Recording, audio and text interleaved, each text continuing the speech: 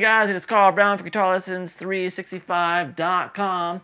So yesterday was Thanksgiving, which means it's Christmas now. So we got to start cranking out Christmas songs. And this is one I haven't uh, done before. Jingle Bell Rock. It's got some cool guitar licks in it, played by Hank Garland. Uh, this was originally sung by Bobby Helms, I think in 1957. So it's a huge hit here, at least in the States here. It's heard every year. I've heard it uh, probably half a billion times in my own life. Um, so anyway, we're going to check it out. All the cool little fills that... Um, Hank Garland does, um, and then the chords and, and all that fun stuff too. So before I get into it, please subscribe to the channel if you haven't already, and ring that notification bell so you'll know when I release, uh, release a new video lesson. And uh, please check out my Guitar Academy. Uh, just click the link in the description below. Uh, there you'll find um, kind of a, a free seven-day trial that you'll get whenever you sign up. Uh, so that seven-day trial will give you full access to all my guitar courses in the Academy which include courses from a complete beginner course to more advanced courses in technique, improvisation, ear training theory, and guitar tone, and all sorts of styles and stuff. So please go check it out. So, all right, all right, let's start up here. We're in standard tuning, and we have this instantly recognizable little guitar lick that starts by Hank Garland. So we have this.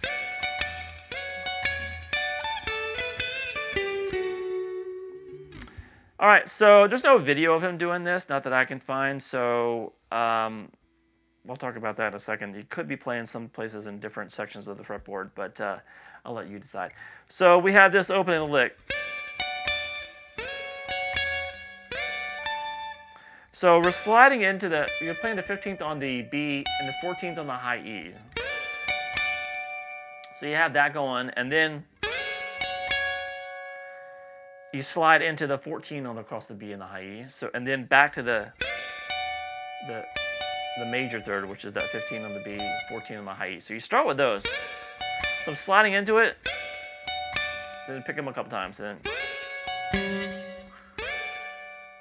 So when you slide in the second time, that 15 and 14, you're gonna go and grab the 17th fret on the high E string.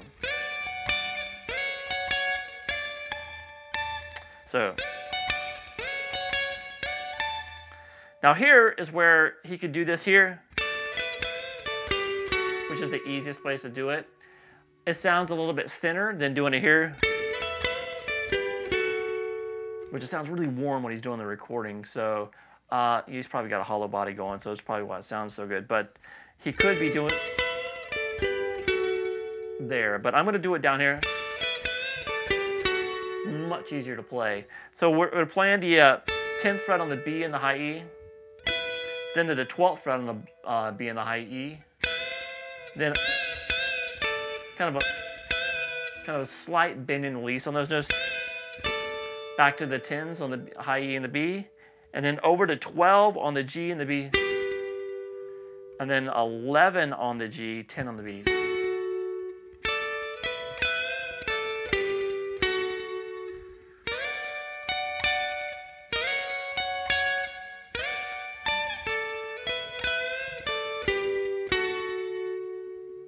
So.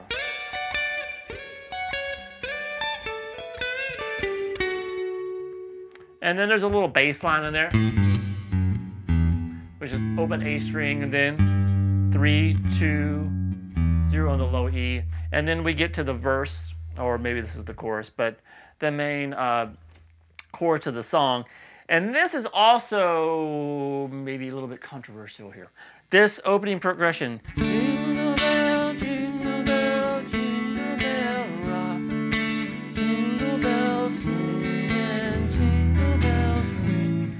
So that opening one, where you go, I'm playing it there in the beginning here from this, from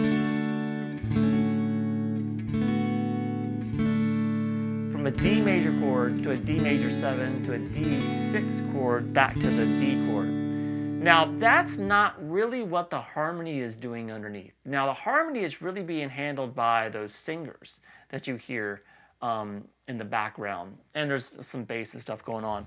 But you hear them sing at that part. So I'm to let you decide what you want to do. They play the, they sing that, and then you hear them go up to the.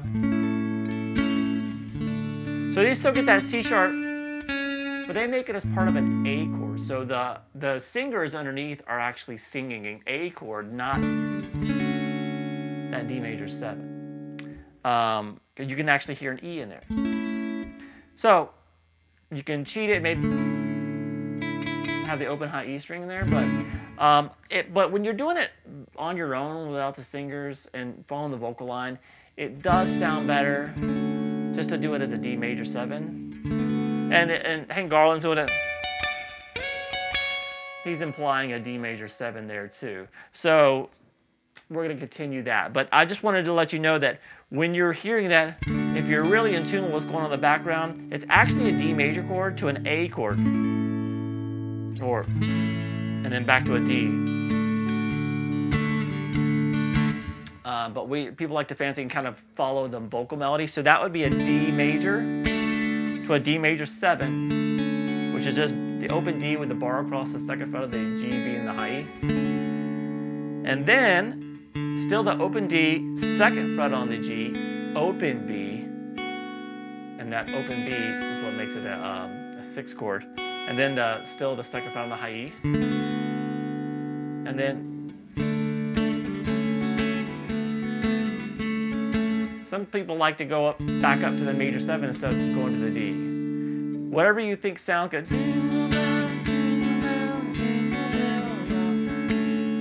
It sounds nice it's fine. Or just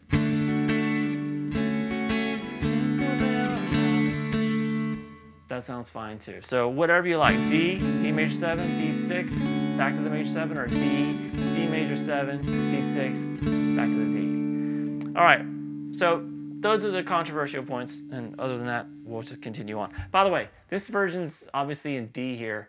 Um, he he sung multiple versions of this song. So I believe some are in C and some they kind of move around in keys. So this is I think the original one he did in 57. So at least it's the one that's on Spotify. So we have this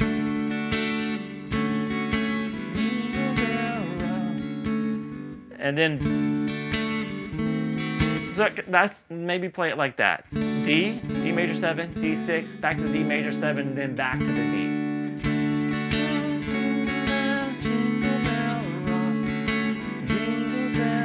Then we get to this, I just call it a G sharp diminished. So I'm just playing the first fret on the uh, D, D string, second fret on the G, first fret on the B, second fret on the high E. And then we go to uh, a series of E minor 7 chords to an A7 chord. Now, I recommend doing this E minor 7 voicing like this because you do hear that you hear that change going in the harmony underneath. So you wanna, you're gonna want that D there instead of just doing it like this. Just see some people do, which doesn't sound like great. So hold an E minor chord, then add the third fret there on the B string. And then play an A dominant seven chord, which is just like an A major chord, but you pick up the note that's on the G string, so make it an open G in there. So he rotates between those two. So from there with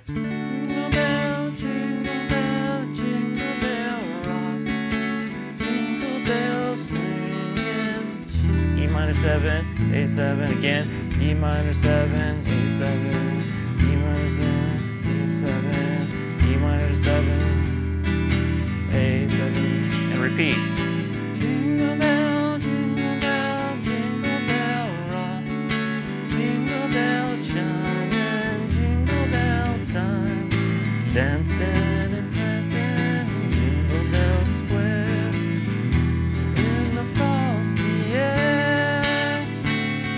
All right, so from there we have a different progression coming. Uh, so this, that, it resolves to the D after that A7 to a D, and then it turns it into a D7. So it sounds like this. I'll, I'll, I'll show you the part where in the frosty air.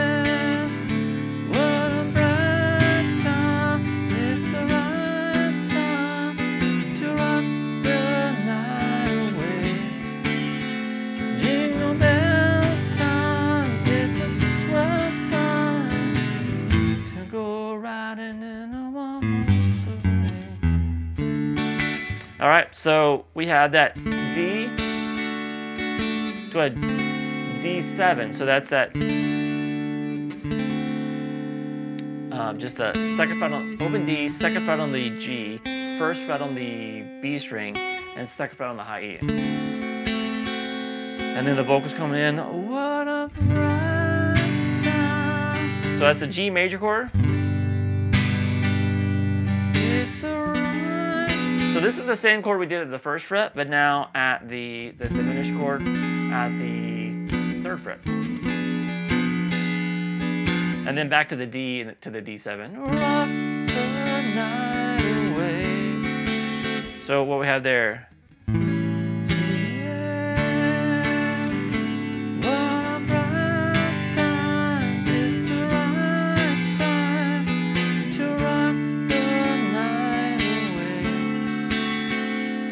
There, back to the G chord. Jingle time, it's a... Now we get to an E dominant seven chord. So you're gonna play that with the open low E string, second fret on the A, open D, first fret there on the uh, G string, that third fret on the B again, open high E, and resolve it to an A.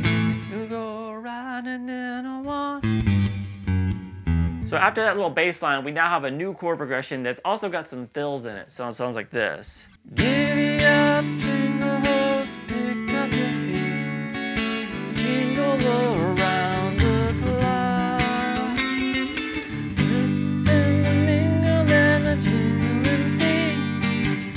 That's the jingle bell rock. All right. So a lot of stuff going on there. If you don't have to do those fills, you can just kind of keep holding the chords, but I think the, the fills sound good. So we're going to start here with that um, kind of the same thing.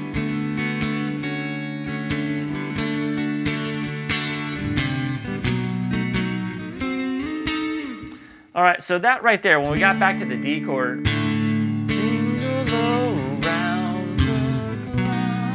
so that goes that D, D with C in the bass. So that's, you can pick that finger that's up on the uh, high E string and move it over to the third fret on the um, A string. And then you take it to a B dominant seven chord.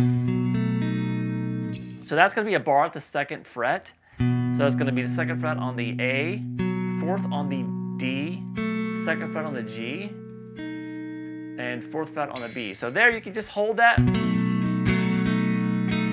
or you can do the fill there, which is starts with part of the chord here, the second fret on the G and the B, and then move it up three frets to the fifth fret, and then move it up three more frets to the eighth fret. So we have this.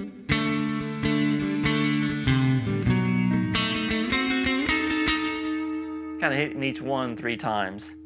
And then we're to this G. Now you're gonna wanna do this as a G bar chord because it goes to a G minor chord right after it and it's, it's an easier transition than doing that. So we have um, G major, so it's a full bar at the third fret. And you're gonna add the fourth fret on the G in front of it and the fifth fret on the D and the A. So from here, that's that G major chord. And, and then take it down to G minor by just picking up the middle finger. So.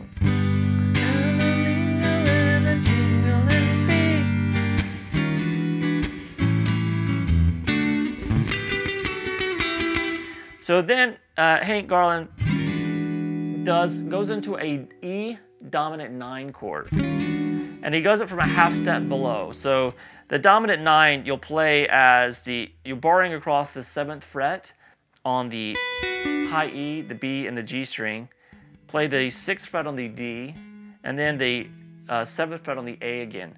So start that a fret lower and slide into that um, E, make it an E dominant. And then go to an A7 chord. And I'm going to do this one right here, which is the full bar at the fifth fret. So different than what we did earlier. Um, and then we have the seventh fret on the A, sixth fret on the G in front of it. And then we go to just a D major, or you can do it here, but if you're gonna do the fill, probably do it here, which is the fifth fret of the A string, bar across the seventh fret of the D, G, and the B, and then you come up and grab this fill, which is the 12th fret on the, the double stops, 12th fret on the G and the B, followed by the 11th fret on the G, 10th on the B, Once again, each one three times, and then move that down two frets. The eight on the B, nine on the G. So that whole section there is like this.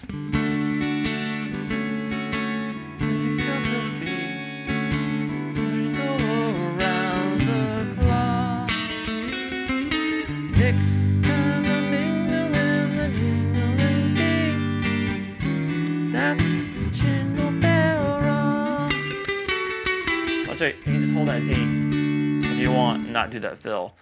All right, and then we're basically back to the previous progression uh, that we started the, the song with, with a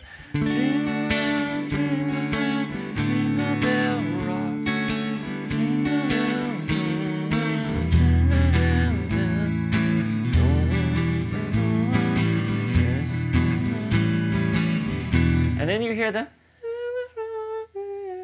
we have that little vocal melody that comes in there, does the, the chorus underneath it. Uh, now we can just do the chords the exact same way we did the first time through. If you don't, if that's cool with you, we can just do it that way. But they add this little thing at the end, which a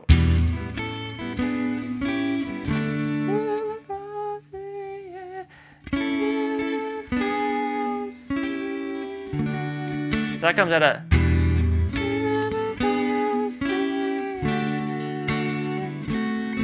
then keeps going through the song. So that's just the little thing that they put at the end of it. If you want to do it, it it's this. It's this this little A major triad here, sixth fret on the G, fifth on the B, fifth on the high. E.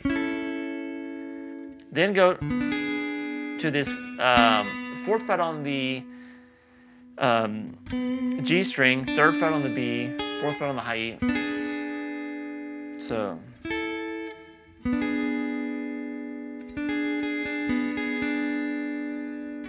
All right, so we have this first two, the, and then move up here, sixth fret on the G, fifth fret on the B, third fret on the high E. And then it's to, to know where they come in, just hear that. It's a little chromatic. They have a little chromatic vocal melody going with it. So it's that little.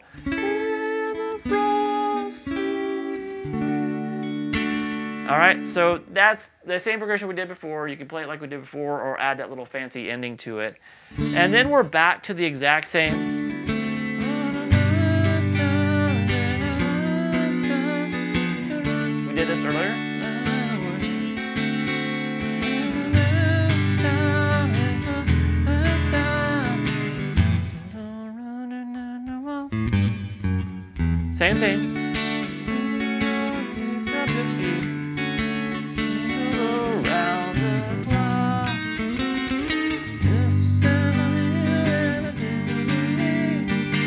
All right, now here they extend it. So This is the end of the song here.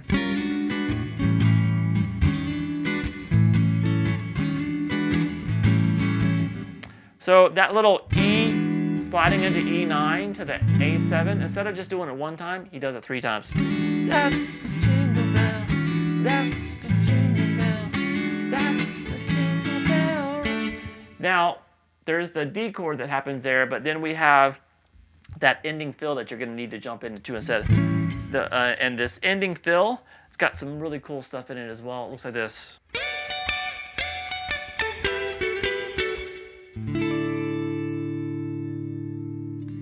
All right, so that starts with the same thing. We're sliding into the 15 on the B and the 14 on the high E. Do that, hit it a couple times after you slide it, and then do that again. So do it twice. And then we have this now here, I feel like it's played up here because it just goes too fast. Plus, it's more awkward doing it.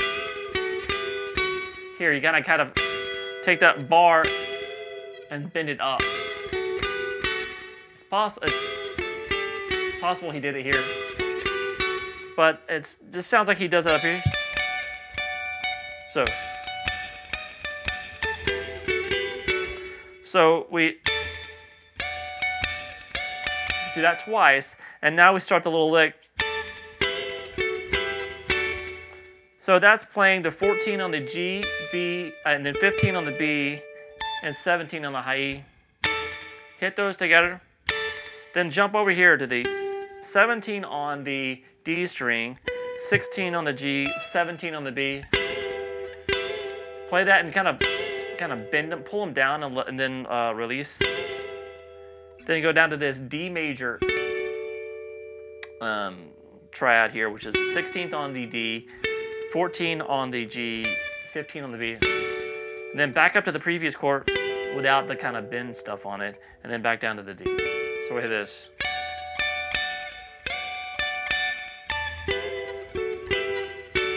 And then this really cool ending chord. So it's a D chord with an A in the bass. We have the open A, open D, ninth fret there on the G, then the 10th fret there on the B string and the high E.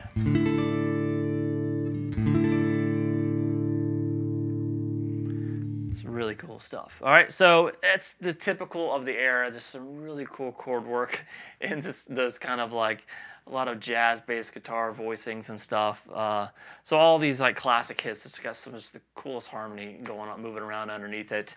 And these days, not so much, unfortunately. But anyway, this is a great one. So I uh, hope you guys enjoyed it. It's got some great chords to learn in it, some great chord progressions, and some really cool guitar licks by Hank Garland. All right, I hope it brightens up your uh, holiday time. All right, I'll see you guys again soon for GuitarLessons365.com.